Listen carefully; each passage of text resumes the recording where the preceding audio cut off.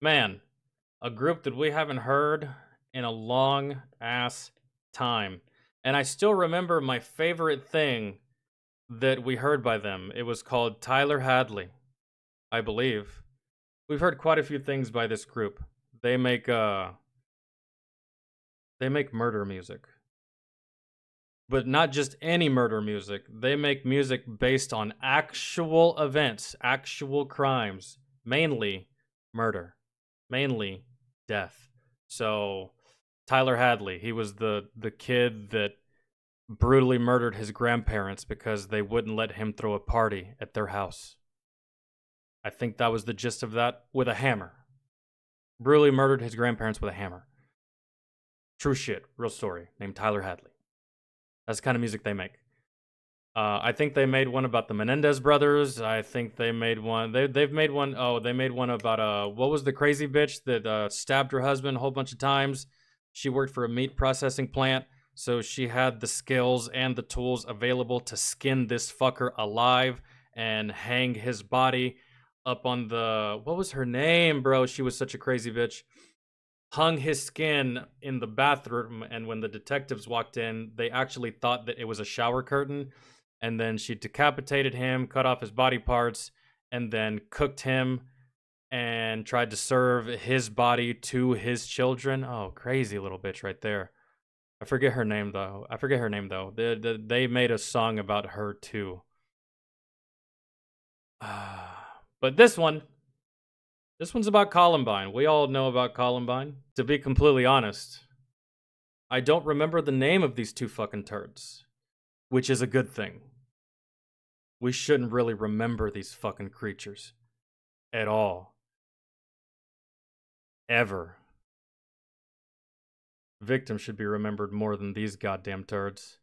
I saw everything about Columbine. Uh, I even saw the moment that uh, him and his buddy took their own lives on camera. It was wild. I think it's still on YouTube somewhere. Probably age restricted, so you'll actually have to have an account. I even saw footage of them going through the school, literally shooting kids. Shit was, uh, just kind of wild. And it was 1999. I wasn't really old enough to... I was a kid, 1999. I was like 10 years old, so...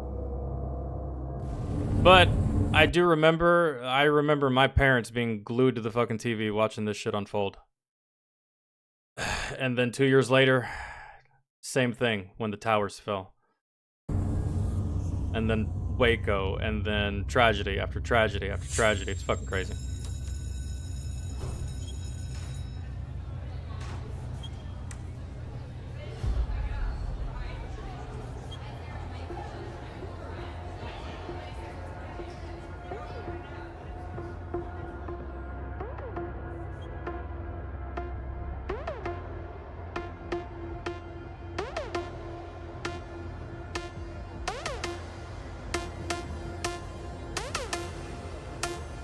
It's actually it's actually crazy and mind-boggling just how much footage, real footage exists of this, bro. This was 1999. Uh, the world wasn't as monitored as it is now. You got CCTV everywhere. You got cell phones everywhere. You got uh, cameras in literally every corner of every building, of every block, of every city, of every town. It's uh it's kind of it's it's kind of crazy just how much footage footage exists and i've seen all the footage of columbine. I've seen everything. I've literally seen them going through the school shooting kids. I i literally saw kids drop. I saw the explosive that they tried to set off in the cafeteria which failed. Um and then i saw them take their own lives. It's crazy how much footage of this actually exists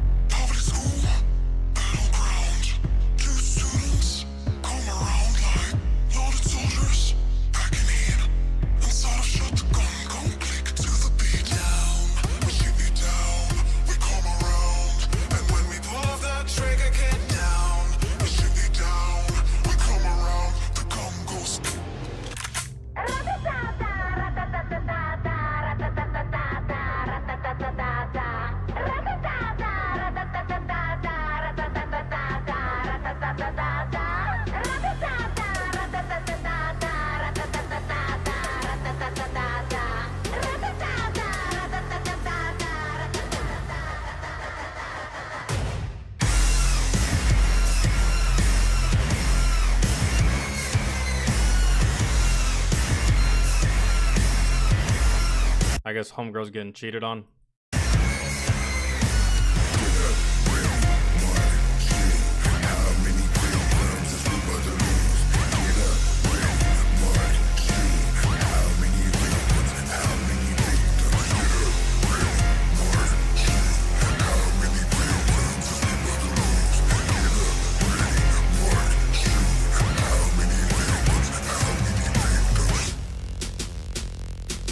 I can't remember. I think it was like over 15.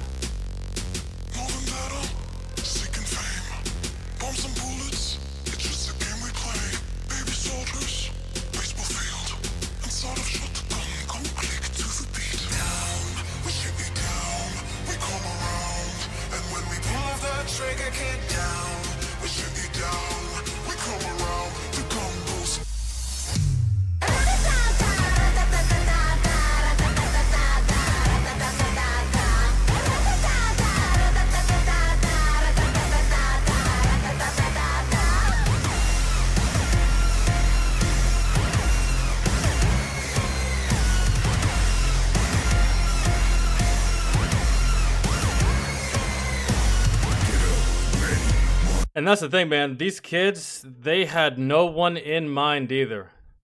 Dude, I saw I saw I, I saw I saw these these kids were fucking sick, bro. They they were sadistic as hell. I saw footage where this kid was literally begging for his life and they were like, "Yeah, you can leave. Go ahead. Leave." And as he was running away, they shot him in the back. I was just like, "Good lord." It was indiscriminate as fuck. They had no targets. The school was the target. They, they weren't targeting anybody specific. It wasn't jocks they were targeting. It wasn't the nerds. It wasn't the goth kids. It wasn't the band. Uh, no, they were targeting just life. Really, it was it was uh it was wild, man.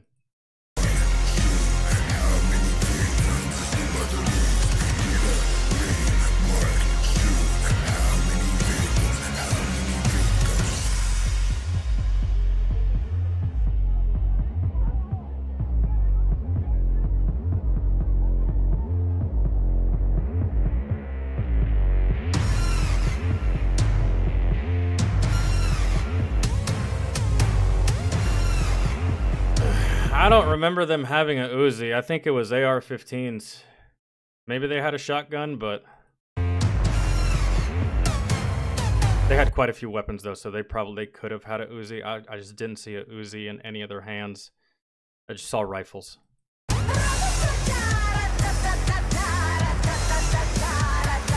They were real life terrorizers.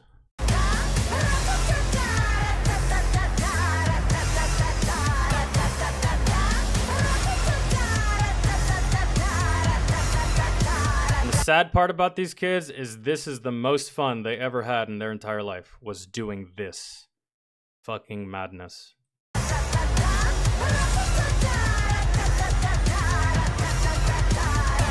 Yeah, it probably is. Scorpion, Uzi. I only saw it for a brief second. Yeah, there it is. Yeah, looks like that. My bad. But yeah, I don't remember. I don't remember this weapon from the from the actual shooting. Uh, it, it was it was rifles that I saw in their hands. Uh, AR-15s, military. I don't know how they got these weapons, but back in 1999, it was probably very easy to get these weapons. A lot, a lot easier than it is now. So uh, I, all I saw was rifles. Maybe they had a shotgun. That's why they had those big ass trench coats, bro. They were dre- they were they were ready for war. Really, they actually could have fought off the police for a hot minute if they wanted to, given all the ammunition that they had and just the caliber of weapons that they had but instead they just took the easy way out.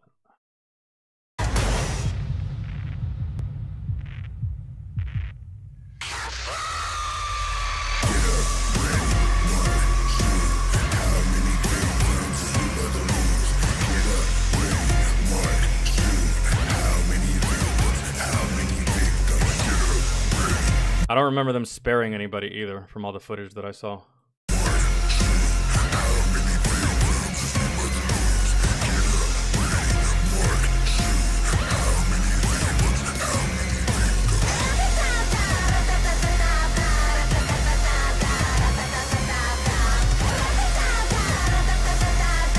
Kind of conflicted here, bro, because I want to bob my head because like the music, you know. I love SKYND's music. I love the beats that they produce and stuff like that, and just like the vocals and just like the overall vibe. But it's kind of hard because it's watching kids die. You know, it's like a little bit of conflict going on in my brain.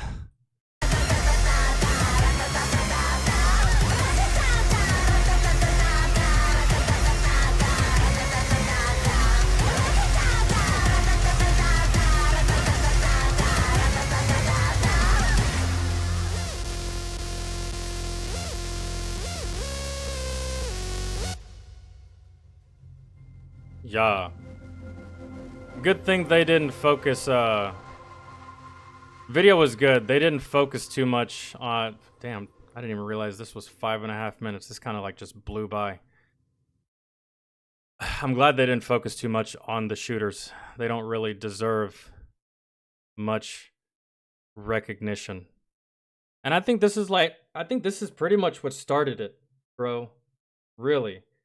Prior to Columbine, what what major event aside from the Oklahoma City bombings, which happened prior to Columbine, but something of this effect when it comes to school shootings? Prior to Columbine, I can't really recall any. Then again, I was just a kid, but I think Columbine is pretty much what set it off, bro. The media coverage of this was absolutely disgusting. They made these kids into fucking celebrities.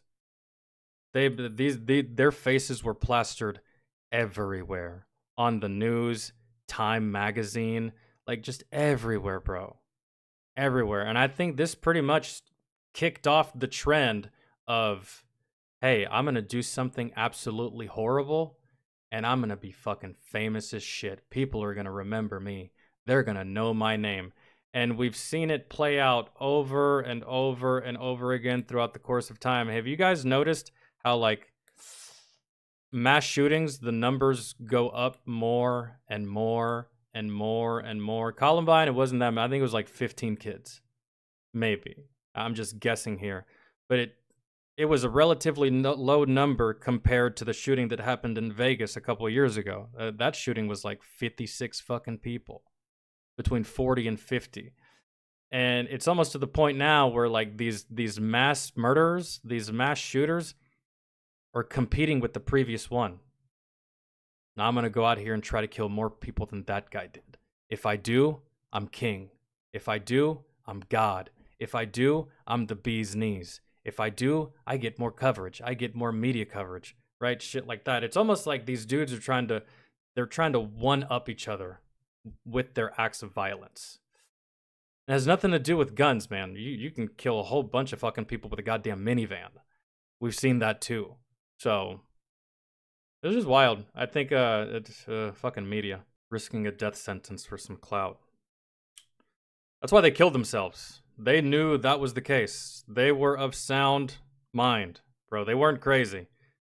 They were perfectly in their mind. They were very, very calculated. Very, very like the premeditation for that was absolutely crazy. They even trained for this, bro. I've seen many documentaries on Columbine. They even trained for this. They, they used to go out into the middle of nowhere and shoot cans, bottles, explosives, and they learned how to make IEDs. They learned how to make improvised explosive device. Like they learned how to do everything on their own, and uh, very, very premeditated and very, very calculating. So yeah, had they seen a courtroom, that's exactly what they had been. That's exactly what they would have gotten was a death sentence uh, they would have been some of, I don't want to say, well, I might be speaking out the ass here, but they probably would have been the youngest motherfuckers to get a death sentence. We've seen we've seen young kids get life before, but rarely a death sentence. They would have been one of the youngest to receive the death penalty. If teachers had guns, I mean, it would it would only need to be a pistol. Really. It would only need to be a pistol for and I agree, man. Yeah, I, I feel like I feel like at the very least, not all the teachers, man, not all of them. At the very least, one to two designated educators inside the building need to have a firearm. And that firearm, in my opinion, should be something like a handgun, at most, a shotgun. The teachers don't need to have rifles. The teachers don't need to have AKs. The teachers don't need to have anything that crazy because in the moment that you need to take down a shooter, the last thing you want is that is that round, that bullet going through the shooter, striking another kid, going through a wall, striking somebody else. Bullets don't have eyes. They don't. So, and they don't discriminate. Uh, so you train these fucking teachers, the one to two that are inside that are inside the building, that in the case of anything like this, they get activated at the drop of a hat at a moment's notice, right? So I uh I thoroughly I thoroughly believe that that should be the case, but then you have all these fuckers out here that are just like no, teachers don't need guns because we don't need the schools to be like prisons. Interesting. You don't want to protect children with guns, but it's okay to protect your money with guns. What do you see at what what do you see at a lot of banks? You see a security guard, right? What does that security guard have? A gun, right? Politicians go anywhere, what do they have? They have a person sitting right next to them with a gun. But when it comes to the children, you don't want to use the same methods to protect your money and our fucking political leaders. That doesn't make sense to me and it doesn't jive like at all in the slightest. So